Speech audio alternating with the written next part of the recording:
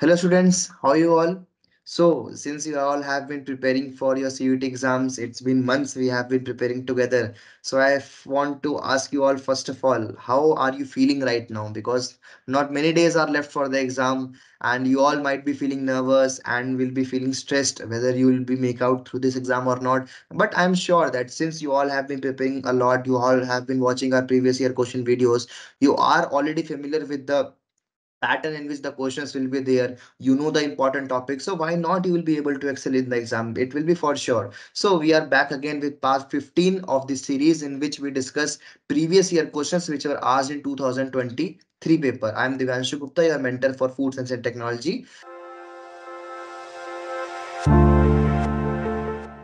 Straight away going to the first question we have. Hydrogen swell is a type of spoilage found in canned foods caused by the action of food with the iron of the can. So yes, it is right. Then it is mostly seen in foods with pH ranging between 5.3 and 4.5. No, it is wrong. So both statement 1 and 2 are correct. No. Both statement 1 and 2 are incorrect. No. Statement 1 is correct, but statement 2 is incorrect. So third is the right answer for this question. So I hope you understood this question. It was a straight away slightly easy question. Then coming on to the next question we have the bright green color of the green leafy vegetables turn into olive brown during the cooking process. This you all obviously have been observed that whenever you will cook some green leafy vegetables like spinach or anything else, then you will find that after cooking it will be turning into some olive brown color, some brownish shades, some dark green shades. So this is due to the formation of which of the following compounds. So pheophytin is formed in those green leafy vegetables which turns the green color into olive brown color. So first is the right answer for this question. Coming to the next, we have identify the concentration of sodium benzoate which is added in preserve fruit juice. So sodium benzoate is ideally one of the primary uh, your preservatives which is being used in your uh, fruit juice. So 0.1 percent is usually used to add in fruit juice. So second is the answer for this question. Coming to the next question we have arrange five out of seven HACCP principles in the correct sequence. So you have to arrange your HACCP steps in the correct order. So first of all is your uh, determination of critical control points. Then is your conducting of your hazard analysis.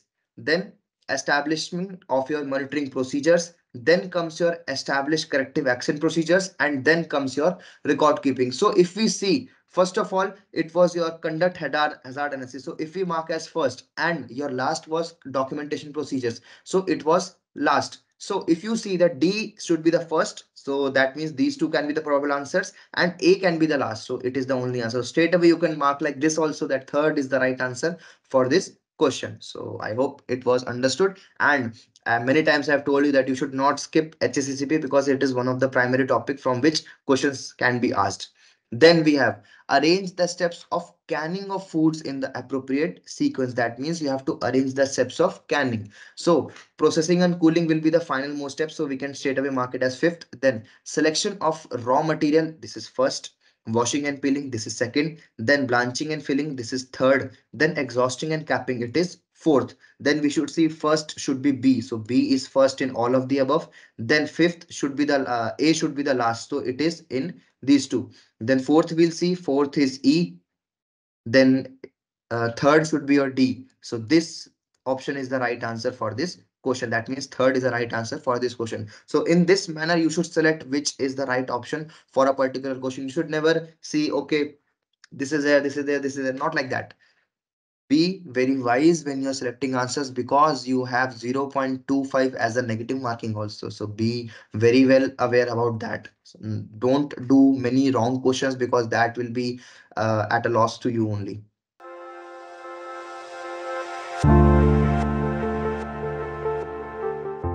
Then we have Another assertion reason based question. Quick freezing is carried out at a temperature of minus 17.8 degrees Celsius to minus 46.6 degrees Celsius for 30 minutes. Yes, right. It does not damage the food structure. So as I've told, the faster the freezing, the less damage. The slower the freezing, the more damage. Quick freezing results in the formation of smaller ice crystals which will not break down the cell wall. This is right. So both assertion and reason are right and the reason is correctly explaining the assertion. So that means first is the answer for this question. I hope you understood this question. Then next we have which of the following is a reason for testing of food quality? Why do we test food before getting it uh, circulated in the market to promote the sale of unsafe food? No, not at all. It is completely opposite of what we study in food safety. Then to devise marketing strategy for unsafe food, no. Then to hide the bad qualities of the food, that is what is done in adulteration.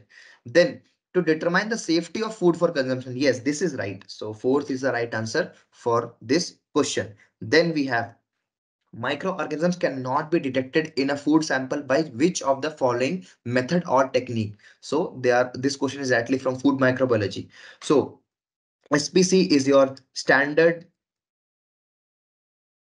plate count method. Then MPN is most probable number method and PCR is polymerase chain reaction. So these three are usually used to determine standard plate count can be used for any of your solid or liquid foods.